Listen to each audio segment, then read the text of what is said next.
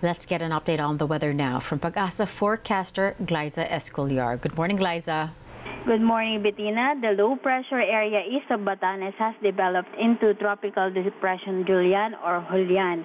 It was last estimated at 525 km east of Itbayat, Batanes, with maximum sustained winds of 55 km per hour near the center and gustiness of up to 70 km per hour. It will move south-southwestward at 15 km per hour. There is no tropical cyclone wind signal as of the moment. And uh, meanwhile, Ilocos Norte, Apayao, Batanes, Cagayan, including Babuyan Islands and Isabela, will experience cloudy skies with scattered rain showers and thunderstorms due to the rain bands of Tropical Depression Julian.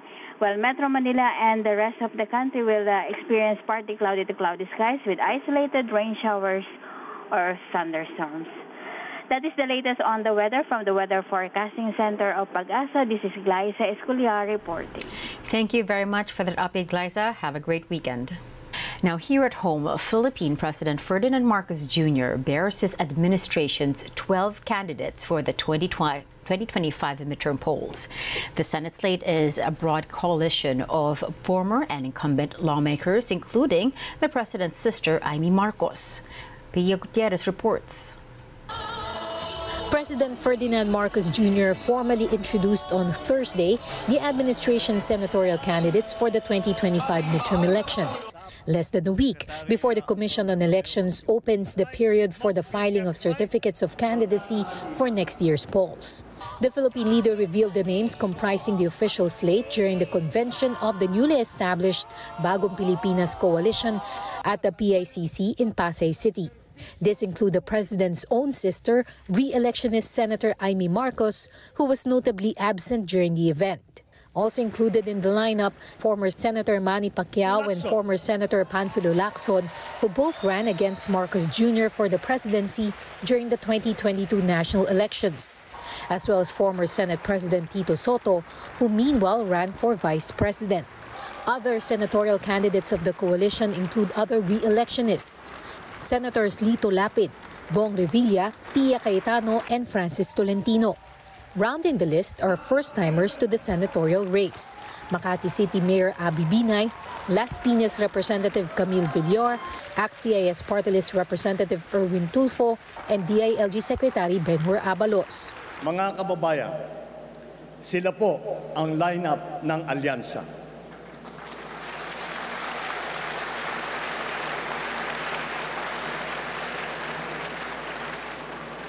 Sa kanilang kalidad at karanasan, mataas ang aking kumpiyansa na sila ay ating magiging katuwang sa ating pagsulong at sa patuloy na pag-unlad ng ating bansa. Atin po sila ay samahan at suportahan. Mabuhay po kayo, mabuhay ang ating lineup, mabuhay ang bagong Pilipinas. Another Tulfo is also running for senator as an independent candidate. Ben Tulfo said he decided to run due to public clamor. He was ranked second in a recent poll on preferred senatorial candidates. If both Ben and Erwin are victorious, there will be three Tulfos in the Senate as they join incumbent Senator Raffy Tulfo. All of the senatorial admin bets come from various political parties comprising the administration coalition. Marcos Jr.'s own Partido Federal ng Pilipinas, as well as the Nationalista Party, National Unity Party, Lakas CMD, and the Nationalist People's Coalition. In choosing their candidates, campaign manager Navotas Representative Toby Chanco says they considered support for the president's legislative agenda. Huwag muna yung winnability. Ang importante kasi dito is yung susuporta sa ating legislative agenda, di ba? Kasi kung winnable naman, tapos iba naman yung um, uh, paniwala nila sa uh, mga batas na dapat isuporta sa presidente, siyempre hindi naman natin pwedeng um, kunin just for convenience. Senator Tito Soto meanwhile says he is confident of the chances of their senatorial lineup in the 2025 polls. May local governments, may national, mayroong business, mayroong... It's, it's a very good mix. And I'm glad uh, the NPC group uh, uh, is involved. Makati City Mayor Abby Binay meanwhile sees no issue campaigning alongside Senator Pia Cayetano. Despite the territorial dispute between Makati and Cayetano's bailiwick Taguig over the jurisdiction of Embo barangays. I agree to join the alliance because of the president. Sino naman ako para magsabi kung sino yung gusto kong makasama at hindi makasama. 'Di ba? So, um, I am here to support programs of the president. DILG Secretary Benhur Abalos meanwhile says he is ready to resign once he files his candidacy for senator next week. While he did not give details, he confirms the president is already studying some names to be the next DILG chief. As President Marcos revealed his senatorial bets, the opposition also wants to offer fresh alternatives to voters. Former Senator Francis Pangilinan is eyeing a comeback under the banner of the Liberal Party. The group is also endorsing the Senate bid of former Senator Bam Aquino and human rights lawyer Chel Diokno. The Progressive Makabayan Coalition also fielding a full senatorial slate with representatives from various sectors. Magpapatawag ng coalition meeting si Senator Risa no Ah, dahil siya yung kinikilala ngayon as ah, the head of the the opposition and ah, in that ah, meeting pag-uusapan kung ano yung magiging ah, huling bilang ng uh, ifi-field ng mga kandidato sa 2025 Ah, wala man kaming pera, pero yung mga volunteers, ah, ito na nga, meron kami mga volunteer. On to another side of the political spectrum, the Dutertes have yet to announce plans for the 2025 midterm polls.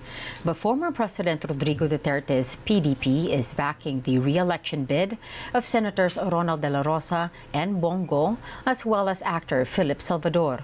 At the PDP National Assembly in Davao City, Duterte encourages the public to give politics a try. kung naisipan ninyo na join mo the public service, not politics. Okay. Okay, if you're sincere and you're really uh, competent in your estimation by try, give it a try.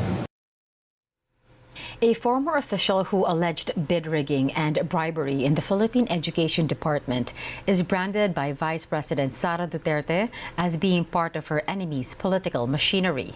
Ex-Education Undersecretary Gloria Mercado earlier told a House panel that Duterte regularly sent her 50,000 pesos monthly when the Vice President was still Education Chief.